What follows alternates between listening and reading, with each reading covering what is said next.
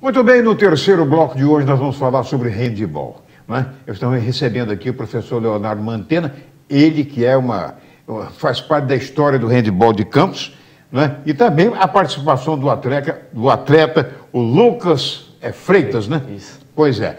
Bom, Campos está disputando o, o, campeonato estadual promovido pela Federação de Handball do Estado do Rio de Janeiro.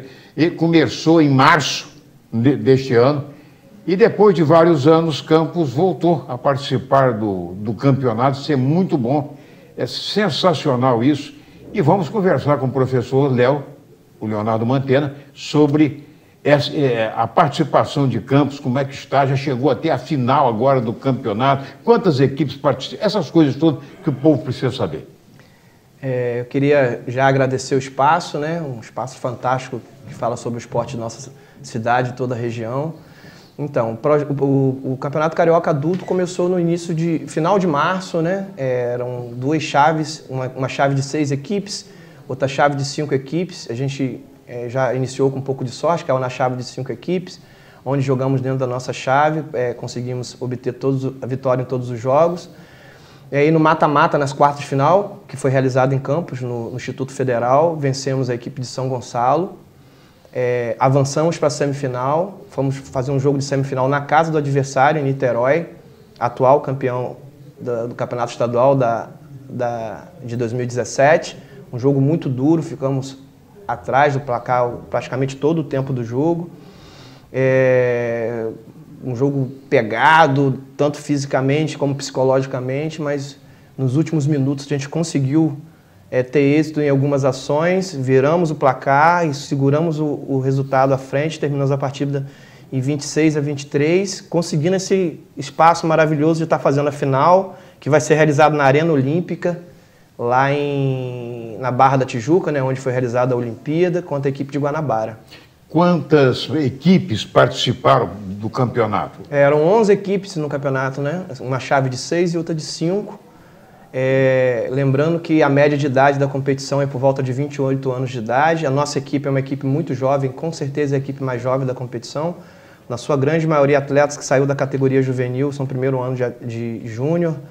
Então vamos dizer que esses meninos têm demonstrado uma maturidade, uma forma de jogar, é, uma obediência tática e técnica excepcional. Bom, o, o Mantena, nós tem imagens, tá passando imagens aí de, deles aí participando do evento, mas eu estou tá aqui também o Lucas Freitas, ele que faz que é, que é da equipe, perguntei se é o artilheiro do time, disse que não. Né? Mas, mas também em handball tem as posições também, não tem? Sim. E aí, meu filho, como é que está como é que tá, tá, o campeonato? Como é que você está vendo a equipe? Está com muita fé de, de, pegar esse caneco e trazer para Campos? É, nós estamos muito confiantes, apesar de ser uma equipe muito nova. Hum. É, a gente costuma treinar quase todos os dias da semana. E academia, treinamento físico, é, treinamento com bola. Junto. Isso, todo mundo. E domingo a gente vai dar o nosso máximo como foi nessa, nessa semifinal contra a equipe de Niterói. E a nossa expectativa para ser campeão está grande. Esse, esse, essa final é contra o Guanabara. Contra a equipe de Guanabara. Do Guanabara vai ser lá onde você disse que foi a arena dos Jogos Olímpicos, não é isso mesmo? Isso, isso. É, na verdade, a, a, Prefeitura do Rio, ela assumiu toda a estrutura do que, que restou da Olimpíada, né? É. O que ficou é, no complexo lá do, Olímpico, a, a, prefeitura mantém isso, né? E, e, ela movimenta e a federação junto à prefeitura do Rio de Janeiro conseguiu espaço, já que é uma final, Sim. um lugar, né, olímpico, né, onde tiveram os melhores atletas do mundo. Para coroar essa fase final do campeonato estadual, vai ser realizado lá, vai ter transmissão pela internet e aí a gente com o tempo durante a semana vai passando as informações e aí eu tenho certeza que vocês vão ajudar a divulgar tudo isso aí. Com certeza. O jogo é que, a que horas, domingo? O jogo é às 15h30 de domingo. 15h30 de domingo. Mantena, diz uma coisa. Como é que está, como é que você está vendo, vamos dizer assim, o nível do esporte, da modalidade do handball aqui em Campos? Olha, eu, eu vejo, eu sou suspeito para falar, né? Porque eu, sou, eu, eu, eu, estou envolvido nisso há 20 anos. 20 anos. É, com altos e baixos, as dificuldades financeiras sempre atrapalhando muito. A gente costuma dizer que a gente encontra muito bons adversários sempre do outro lado da quadra, mas o nosso maior adversário sempre acaba sendo a dificuldade. Mas é muito bom estar trabalhando com um grupo jovem, porque eles sempre têm uma injeção de ânimo para dar na gente, eles veem a coisa, eles buscam o espaço, é, é, a vibração é uma vibração diferente. E eu vejo um crescimento enorme. E um fato importante, é, ano passado a gente teve cinco atletas convocados para a seleção brasileira.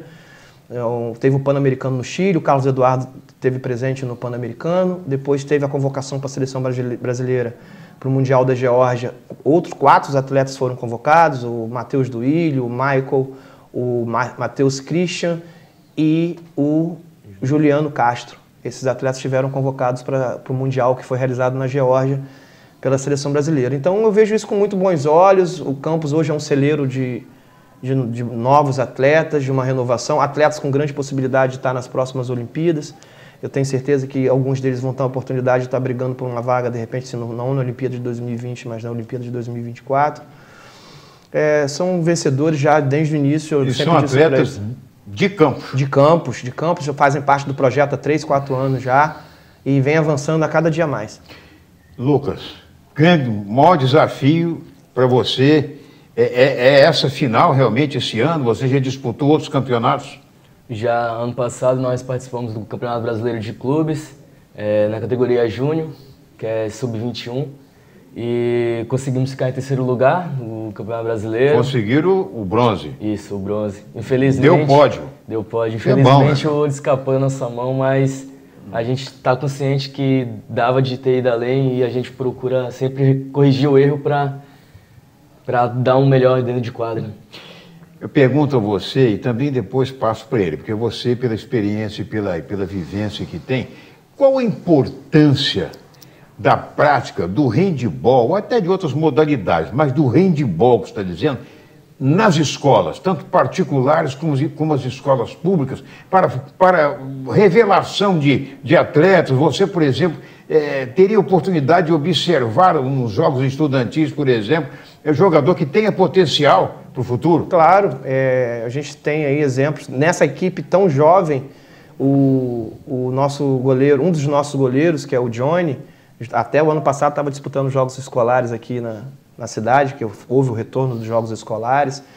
É, o, o, Gabriel Messias, que ano retrasado também ainda era aluno do ensino médio, envolvido com, com jogos escolares, e tantos outros, eles também, todos eles tiveram passagem nas escolas durante o. Eles são recém-universitários, vamos dizer assim, né?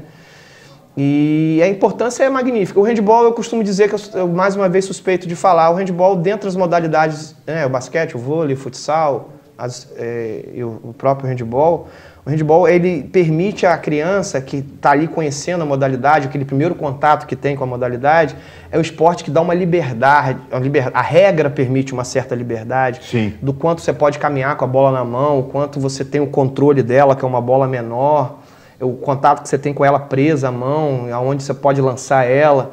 Então, a princípio, é uma modalidade que dá uma certa liberdade. A criança, na verdade, quando ela começa a praticar o esporte, ela não quer ficar muito presa à regra é, ser punido, andou com a bola e conduziu a bola, né? É a mesma coisa do basquete, que não e, pode conduzir. Isso, né? Tem Ficar algum, a bola na quadra. Isso, isso. Então, assim, é, é uma modalidade que, a princípio, Todas elas têm as suas dificuldades. É claro que com o avanço também, quando você vai chegando para alta performance, quando você começa a falar de coordenação motora específica, que é uma coordenação motora específica para a modalidade, as dificuldades vão aparecendo, até mesmo porque as outras equipes também vão se preparando, então a dificuldade para toda modalidade existe. Mas se tratando do esporte escolar, como você perguntou, é uma modalidade que é muito aceita tanto pelos meninos Sim. como pelas meninas. E isso, eh, segundo pesquisa, é o, esporte mais praticado no segmento escolar devido a essa facilidade da, da prática, é o handball. Começa ali no queimadinho, né? No queima, na queimada, né? Exato. E é. tal, e olha, você ajeitou, vem pro handball, e aí a facilidade vai acontecendo e a gente vai abraçando as pessoas para para dentro da modalidade. Bom, eu fui, eu, eu, foi um prazer muito grande receber vocês aqui.